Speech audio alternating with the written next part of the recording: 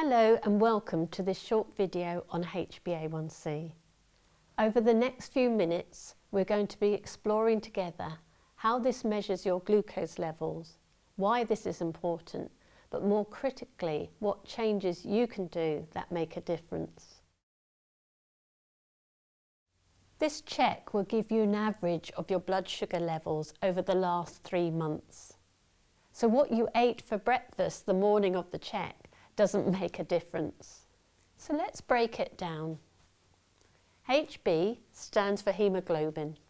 That's the red blood cells that circulate in our blood. We know that sugar or glucose attaches itself to the red blood cells and we also know that it stays in your blood for approximately 120 days. So this HbA1c result gives you an average amount of glucose in your blood during that time, 120 days or three months. Confusingly, HbA1c can be expressed in two different ways, either as a percentage result or as millimoles per mole.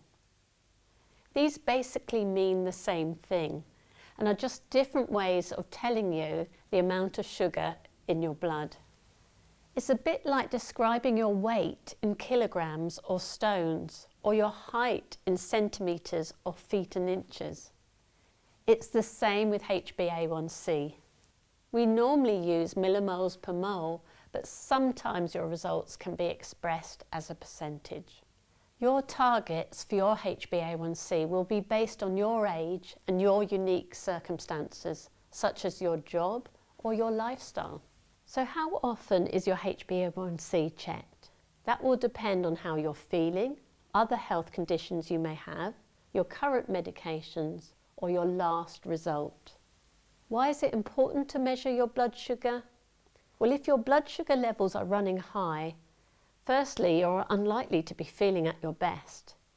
You're more likely to be feeling thirsty and more tired than usual or have other symptoms that affect your quality of life such as experiencing blurred vision or frequent infections.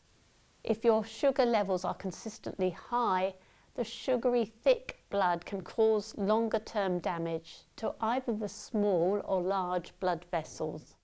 So if you have any of the symptoms of thirst, frequent infections, feeling tired or blurred vision, they could be signs that your blood sugar levels are running too high and it's best to talk to your healthcare team. So what are the ways you can improve your sugar levels?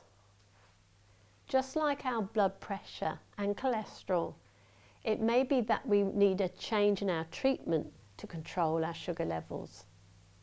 However, there are things you can change yourself, such as looking at your portion sizes, the amounts of carbohydrates you're eating, quitting smoking or increasing physical activity. These may all help to keep your levels in check.